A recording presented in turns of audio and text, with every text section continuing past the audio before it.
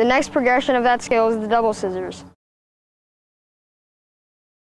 If you practice it enough in a training session or by yourself, it's a very efficient way to get past a defender on the wings of the field or down the center of the field, preferably in the uh, attacking third. It's not the best in the defensive area of the field because if you lose the ball, perhaps, it will be a, a dangerous position for the opposing team uh, to score.